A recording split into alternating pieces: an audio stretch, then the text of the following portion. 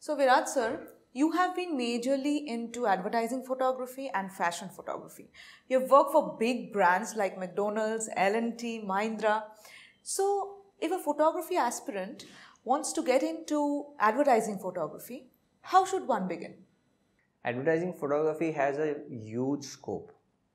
You know, this is an ever growing line, and especially in today's time, you know, even a small entrepreneur, whether it is a small entrepreneur or whether it is an MNC firm, they realize that image plays a very important role in, in their product positioning, in advertising their products, in creating their brand image.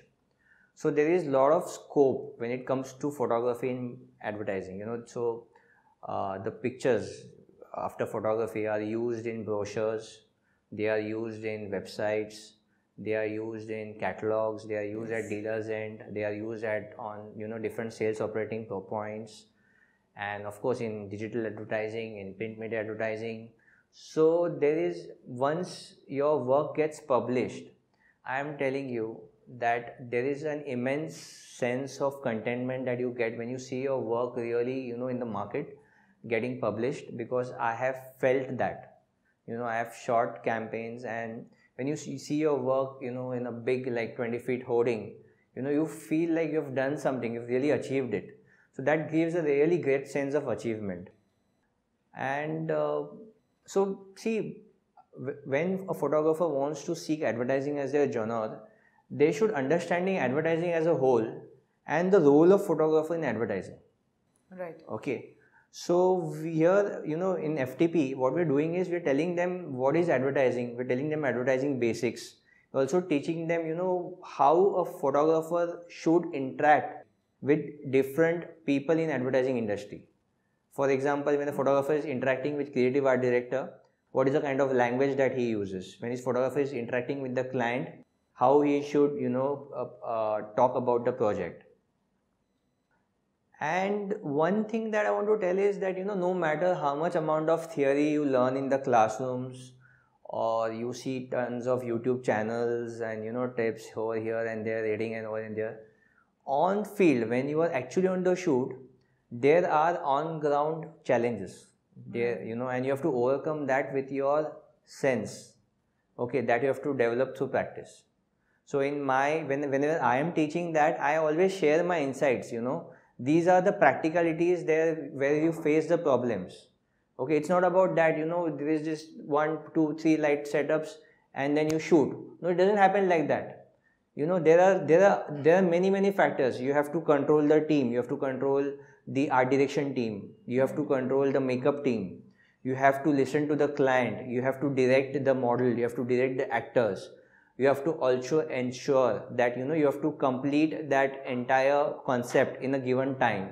So it's not just the role of a photographer. It's like a director directing a particular scene. Okay he's a captain. Yeah he's a captain of the entire crew and he has to take command of all these things and in charge so it's not that you are looking into the through the camera lens and you're just looking in at the picture. There are other things behind the scenes this is one aspect. The other aspect is that there needs a lot of preparation you know and that has to uh, have a certain process. So that we teach them we teach the students that how you have to prepare yourself during the shoot. So like i said you know one thing is that they have to learn it they have to understand insights from a good mentor who's actually working.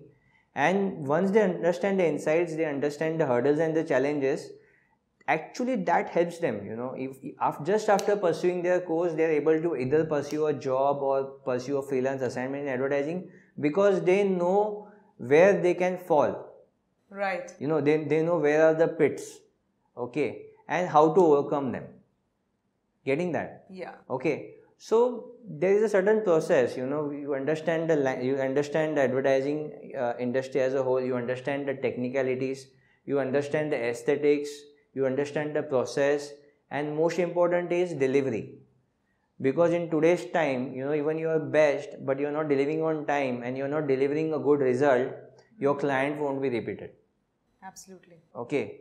And to deliver you know a best results you have to ensure that you know uh, you have to understand clients you have to understand brief. So all these things as you know uh, is uh, very important when somebody is pursuing advertising as their you know genre and uh, this itself is a very huge topic but one can definitely start and there is immense of scope in terms of advertising photography So there's huge scope, but you need that holistic learning to be able to deliver. exactly So thank you, Virat sir. So friends, that was all for today. Stay tuned for more photography tips. And if you're interested in pursuing photography or knowing more about photography courses, click the link below in the video description.